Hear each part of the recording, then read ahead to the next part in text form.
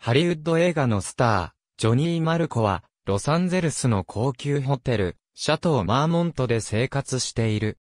パーティーに明け暮れ、フェラーリを乗り回す彼の暮らしは、見た目は華やかだが、中身はどうしようもなく空虚である。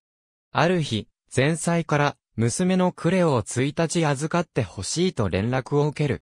久々に会った思春期の娘をフィギュアスケートの練習場に送ってやり、ぎこちないながらも父親として接する。クレオとの1日は柴叩く間に過ぎ、新作映画の取材、共演女優との常時、映画の撮影準備といった元の喧騒の日々に戻ることとなる。そんな中、突然クレオが一人で、ジョニーの部屋にやってくる。母親がしばらく家を空けるのでサマーキャンプに行くまでの間、部屋に泊めてほしいというのだ。シャトーでの父子の暮らしは穏やかに過ぎていく。プールで泳ぎ、TV ゲームではしゃぎ、一緒に食事をしながら絶えない会話を交わす。ジョニーは、クレオと過ごす日々の中で、いつの間にか忘れていた、何かを取り戻しつつあった。しかし、クレオがキャンプに出発するまでの時間は少なくなっていく。ソフィア・コッポラ監督の幼少時代の思い出から、着想を得た映画である。撮影は2009年の6、7月に行われた。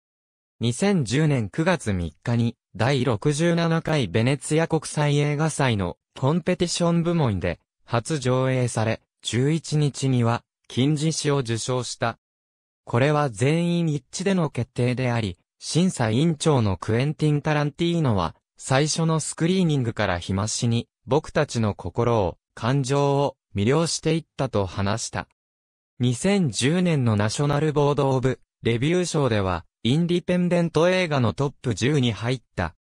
ラブライク、A サンセットパートアイフェニックスガンディフィックス、ウィリアム・ストークソンマイヒーローフーファイターズ、ソロンリーポリス1シング、エーメリー・トゥエンティス・センチュリー・ボーイ・ティレックス、クール・グエン・ステファニー・チェシファ、パオロ・ヤンナッチ・テディ・ベアー。